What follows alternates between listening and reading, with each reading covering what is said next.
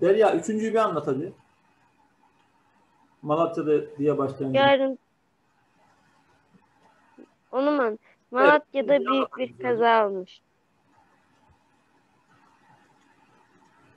Evet. Hocam D'yi sildiğimizde Malatya büyük bir kaza olmuş diyor. Evet. Ee, Anlat. anlam bozulmuş. Bozulmuş. Evet. Evet'ten gidiyoruz değil mi o zaman? Evet. Peki sonra D nasıl yazılmalıymış? Bozulursa D nasıl yazılmalıymış? birleşik. Evet, Birleşik nasıl yazmış orada? ayrı. O zaman ne dedik? Yanlış dedik. Güzel. Devam edelim. Diğerini de anlat Evet.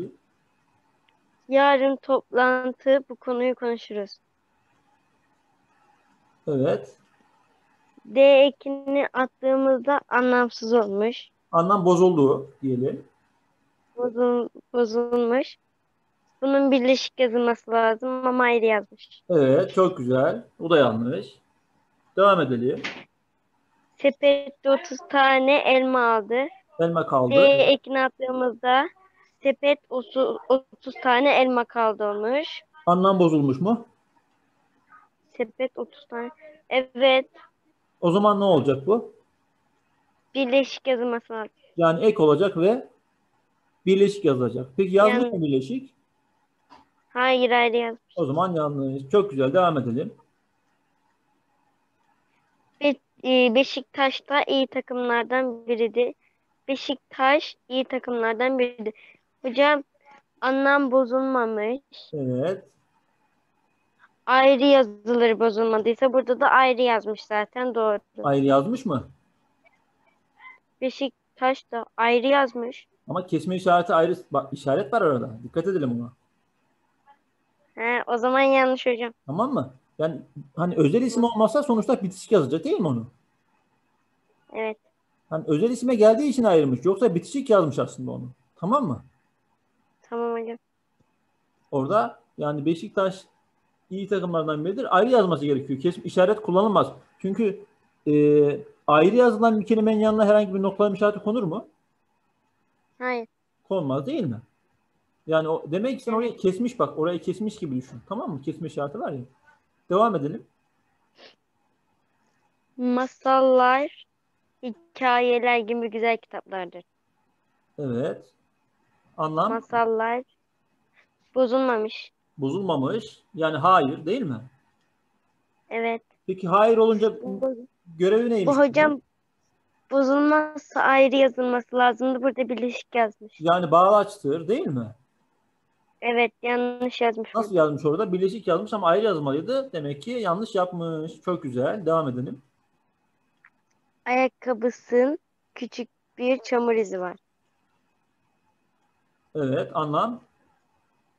Hocam bozulursa birleşik yazması lazımdı. Evet. Nasıl yazmış?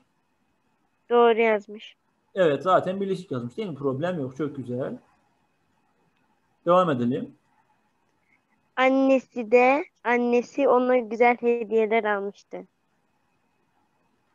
Bozuldu mu anlamımız? Anne annesi hayır. O zaman hayırdan gidiyoruz. Görevi neymiş bunun? Bağlantı Hayır. Hı, hocam ayrı yazılması lazımdı. Yani görev ek mi bağlaç mı? Ee, bağlaç. Bağlaç. Ayrı yazılması gerekiyordu değil mi? Peki nasıl yazmış oraya? Evet ama bir, birleşik O zaman yanlış. Çok güzel. Yanlış. Devam edelim. Çünkü oyun onlara Dünkü- muhteşem bir Dünkü gol oyunda atmış. Dünkü oyun onlara muhteşem bir gol atmıştı. evet. Dünkü oyun onlara... Hocam bozulmuyor. Bozulmuyor mu? Bir daha oku. Dünkü oyun dünkü oyun onlara muhteşem bir gol atmıştı. Ne demek? Ben şey Bozulmuyor. anlamadım fazla.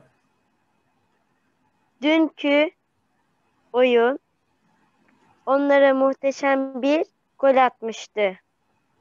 Anlamsız olmadı mı? Dünkü oyun onlar. Bence olmuyor hocam.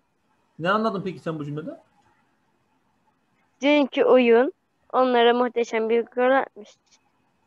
Oyun nasıl gol atacak? Olur mu öyle bir şey? Olmaz o zaman. Olmaz değil mi? O zaman anlamlı oluyor Evet. muymuş? Bozulmaz, bozulursa birleşik yazması lazımdı. Evet, Doğru yazmış? Doğru.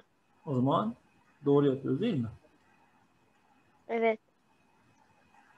Güzel. Şimdi e, bağlaç olan DDA ile ek olan DDA anlaşıldı mı? Evet hocam. Yani bundan sonra yaparsın değil mi?